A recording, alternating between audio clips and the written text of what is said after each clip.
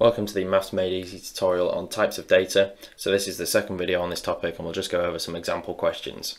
So the first one, Janet wants to learn some information about Jason. She learns three pieces of new information about him. For each one, state whether the data is discrete, continuous or categorical. Uh, so the first bit is his hair colour. Uh, so his hair colour is uh, qualitative data, so it's worded data, uh, otherwise known as categorical. Uh, so we can say that's categorical data.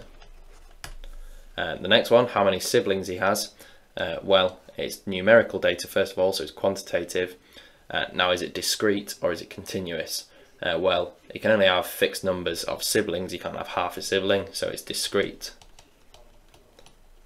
And then finally, how fast you can solve a Rubik's Cube. Why on earth she wants to know that is beyond me, but um, uh, it's numerical data. And again, is it discrete, is it continuous?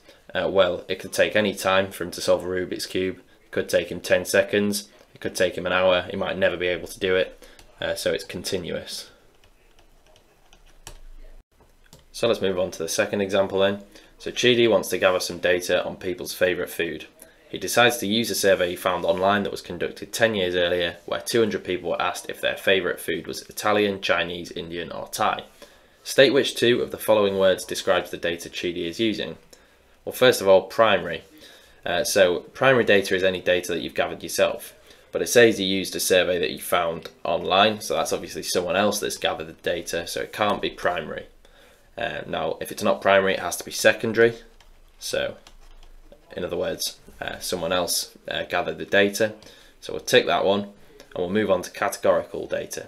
Well, categorical data, otherwise known as qualitative data, is any form of worded data. So in this case, where people are asked if their favourite food is Italian, Chinese, Indian or Thai, that is worded data, so it's categorical. Uh, we can rule out discrete and continuous because the data is not numerical. Uh, so those are our two words which describe the data he's using.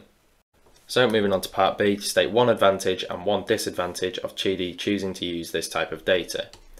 Uh, well, um, if it's uh, secondary data, then he doesn't have to gather it himself. Uh, so it's more convenient, it's cheaper, uh, less time consuming. So let's just say it's less uh, time consuming. So that's one advantage. Uh, one disadvantage though uh, is that it might not be reliable.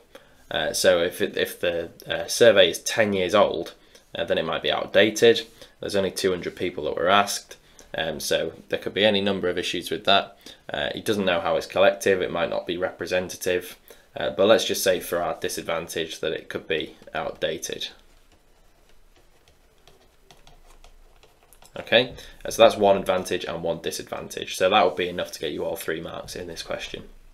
So if you want to test yourself on types of data, you can do so with our online exam. It's available through our revision platform and you'll find loads of different questions so you can practice all the different types of data uh, and all the feedback is available instantly uh, so you can keep track of your progress and find out which areas you're weak on as well as which areas you're strong on and find out where you can improve.